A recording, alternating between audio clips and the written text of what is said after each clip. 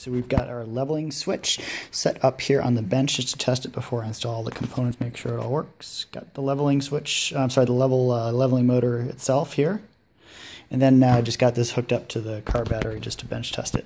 So we got the leveling uh, switch itself. Uh, the one on the left there is the brightness and controls for interior of the car. Then the one to the right of it, uh, it controls the up and down uh, of your headlights for you're cut off. Uh, the idea is that if you have cargo loaded in your car, it's going to pitch the front of the car up, and that would send your HID cutoff a bit higher and possibly blind oncoming traffic.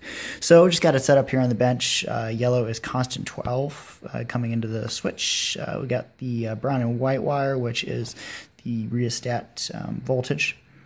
And then that would go to the motors. And then we have brown, which is ground. And you can see the volts right now is showing about 10.8 off the rheostat. And then as you load cargo in the car and you want to drive the um, headlight uh, leveling motors down, drive cutoff down, then you would just go ahead and move this uh, switch. And as you can see, that changes the signal voltage that is sent to your leveling motors. And this right there is the lowest setting, so 3.95 volts. And then when it's uh, normal setting is at uh, nearly 10.8 volts. So uh, next video will actually show the leveling motors working uh, as the rheostat voltage tells them what to do.